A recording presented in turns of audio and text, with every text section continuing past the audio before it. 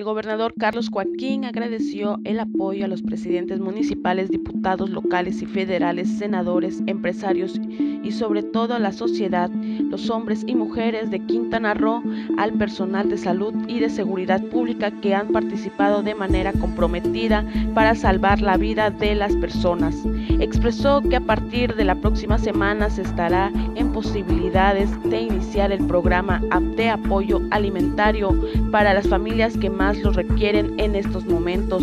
El gobernador Carlos Joaquín de nuevo exhortó a la población a quedarse en casa, mantener el distanciamiento social, evitar salir a las calles y disminuir aún más el flujo vehicular que en algunos lugares ha sido del 10 al 15%, mientras que en otros ha sido de un 20, 25 hasta un 30%.